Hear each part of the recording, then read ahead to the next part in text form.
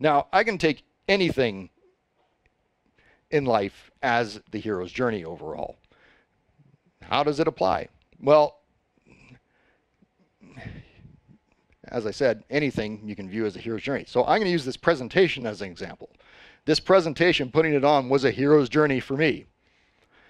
So what we have, let me try this. Uh, there we go. Can everybody see that uh, little laser pointer? Okay. So every hero's journey has, you start off in what's known as normal existence. There's a departure, initiation, and a return stage.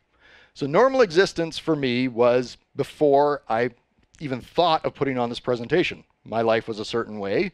And then I had the thought, oh, I should put on this presentation. I should take my podcast and bring it out live. And that is the departure stage then.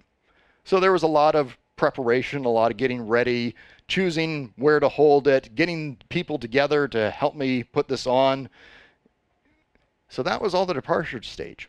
So the initiation stage was then when I'm fully committed to putting on the presentation, when I put out the money to to uh, to book this place, when everybody is on board, when the presentation is all put together on the computer, and even now, me up here. This is still the initiation stage.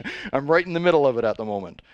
And at some point, there will be a return stage. When this presentation is done, I'll then return back into a normal existence, but a normal existence that is new, that's different. It's been changed because there will be results, consequences that come out of putting on this presentation.